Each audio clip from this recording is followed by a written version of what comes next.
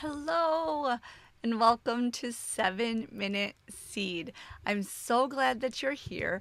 I am Pastor Katie with rootbible.com, and I am coming to you with seven minutes of seed that, when it goes in and develops root, will change your home into a flourishing heart of God, spirit led place where the joy of the Lord is all of your strength. Yes, it can happen. So, how does it happen? It happens by putting in the Word of God. So, if you haven't yet, subscribe to the seven minute podcast. Maybe you only have seven minutes a day, but you have seven minutes to get that seed in, be encouraged in how to raise your home up in that Word by the Spirit. And maybe you're like, listen, I work all the time. I'm out of energy. I feel like my faith is being chipped away at. That is exactly why we do a reboot program check out rootbible.com slash reboot. It's an hour a day, weekdays, live interactive of just straight word, rebooting your thinking, rebooting where you're drawing your faith from, resetting you to take on the world the way you were meant to, and that's by the life of Christ Jesus and nothing more. Not on your own, not in unbelief, but in the strength that comes from the Word of God and the Spirit of God renewing you by that word, leading you in knowledge, leading you in truth. It's so powerful. Check it out. Now, on to our seven minutes. Are you ready? The timer is on the clock. Yesterday, we talked about unredeemed toddlers. Today, we're going to talk about everyone in your home. As a parent, we need to know more than ever Proverbs 21, 23, 1, excuse me. Proverbs 23, 1. And this is so important. This is a big one that we talked about in Handle with Care semester. This is coming from the table talk in Handle with Care. Remember, you can always register for free. We have classes for every age at rootbible.com, and the downloads are free as well. These tools are at your disposal for free to make that seed prevalent in your home, preparing that soil, getting that seed in there, building faith in your home, in each heart. It's so powerful. So, Proverbs 23 1, this is just the first portion of it. For as he thinks within himself, so is he. How many of you know more than ever because of the availability of voices to speak into our hearts and minds everywhere in our palms, on our computer desks, in our cars, on our walls in the form of TVs, now in VR goggles. Everywhere there are voices that are speaking into our lives, our children's lives. Every where they look.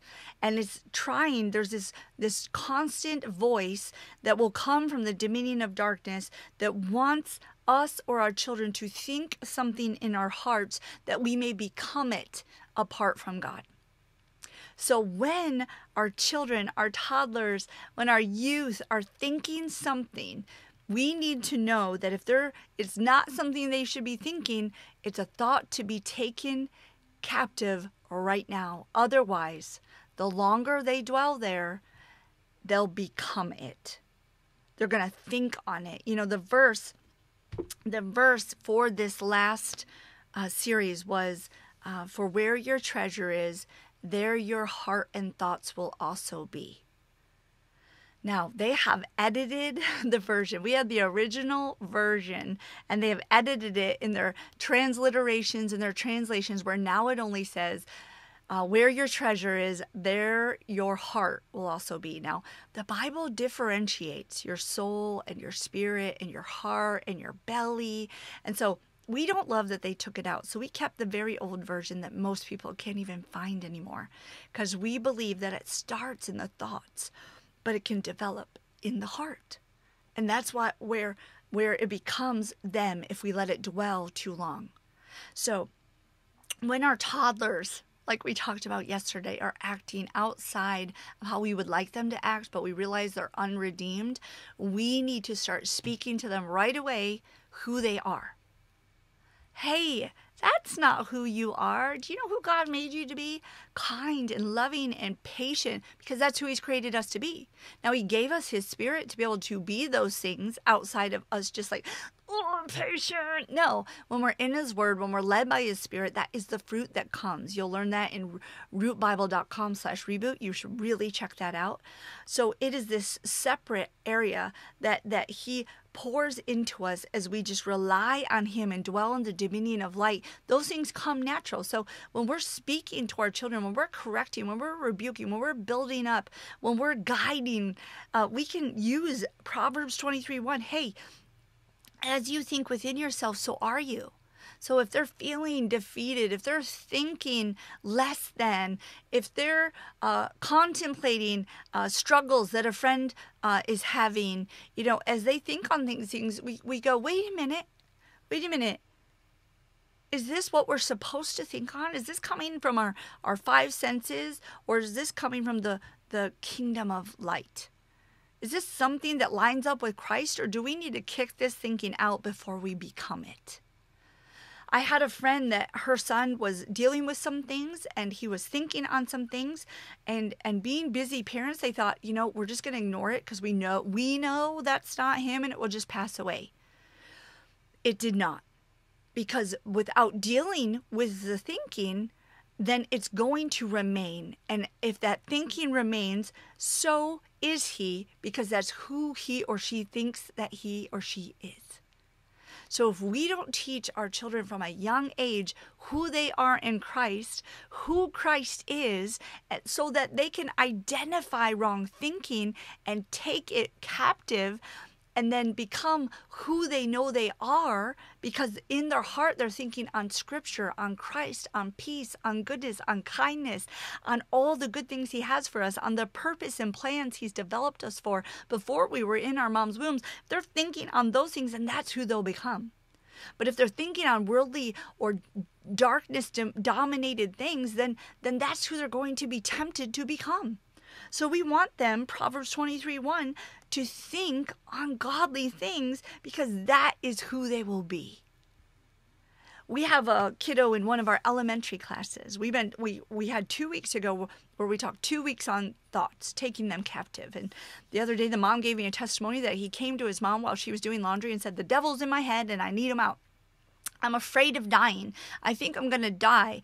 And and she was like, "Where is this coming from?" Well, this is how the tactics of the enemy work. If he can just get in their head and think it's normal thinking, then they think it's them. And then they become it, right? That's why you must be careful what they're hearing and seeing. And the mom said, "Well, what do we do with that?"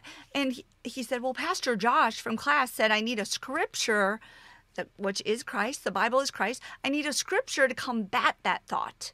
And so they wrote down a scripture on a card. They, it was uh, for in, in him I can do all things. In him I can do all things.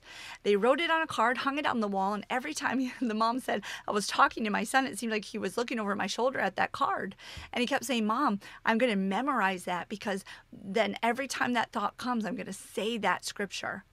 And then that thought will stop coming. See, and you know, this kiddo is I think he's seven. I want to say eight, but I'm pretty sure he's seven. Seven years old, he started to recognize what thinking belonged to him and what thinking was from the dominion of darkness and didn't belong there. So, Proverbs 23 1, he will think on godly things, and that is what he'll become because he's already learned to take thoughts captive into the obedience of Christ, that every thought is not who he is or for him to own, and to weigh that thought to the Word of God. We can do that with our toddlers, with our children, with our youth, because it is the reality of Christ Jesus that is faith.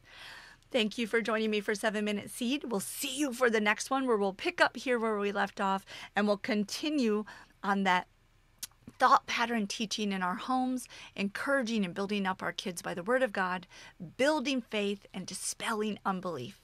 Blessings on your home until next time.